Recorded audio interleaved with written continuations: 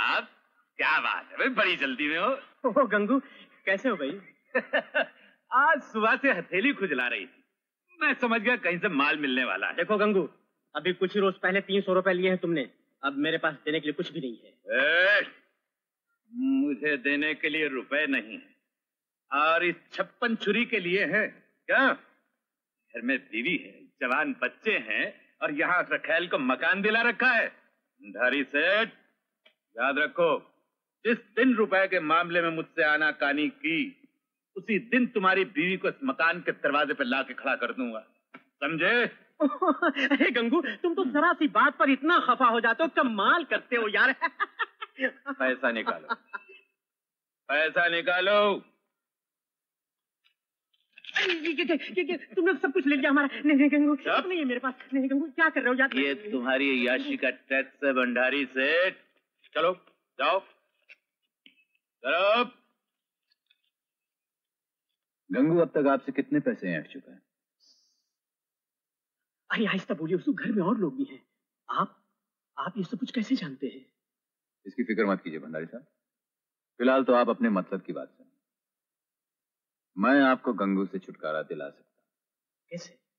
Daga shipping corporation को mister R K Gupta जो tender भेज रहे हैं वो कागज़ वहाँ जाने से पहले मैं देखना चाहता समझ गया।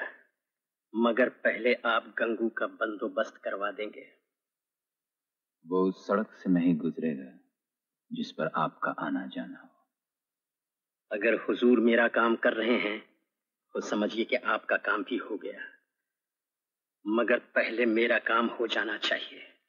अबे मुन्ना पान लगा किवाम का। अभी दिया दादा? और देख ये अपने पट्टे हैं ना इन्हें पान बीड़ी सिगरेट जो चाहिए दिया कर। अब पैसा नहीं लेना बे। अच्छा। हमारे नाम पे देना। हाँ, दादा अभी अभी आपको एक आदमी पूछ रहा था। आदमी पूछ रहा था?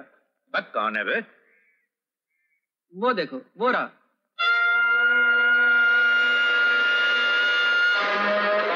बस कौन है बे?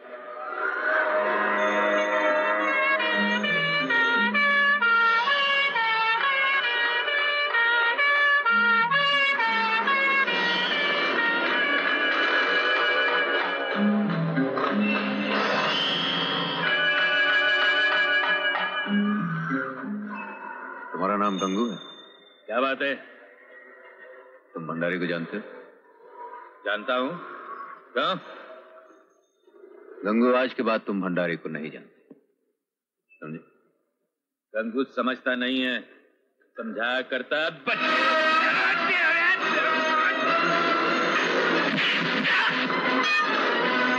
Thank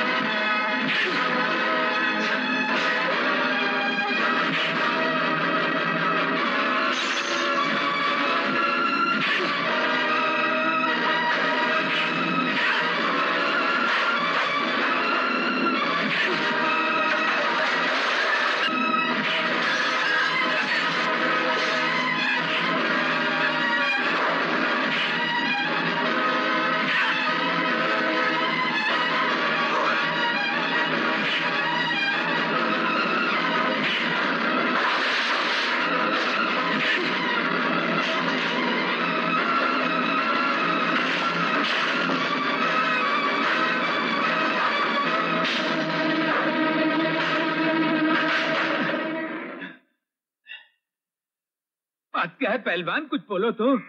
हमारे मोहल्ले में आके हमारे पानी उतार रहे हो। गंगू आइंदा अगर भंडारी को ब्लैकमेल करने की कोशिश की तो तुम्हारे लिए अस्पताल की गाड़ी नहीं मुर्दा घर की गाड़ी लाऊँगा समझे? समझ गए समझ गए पहलवान। आज के बाद तुम उस रास्ते पर कभी दिखाई नहीं दोगे जिस पर से भंडारी गुजरता है। मोहल्ला ही छोड़ देंगे पहलवान कहोगे तो मोहल्ला ही छोड़ देंगे। गुड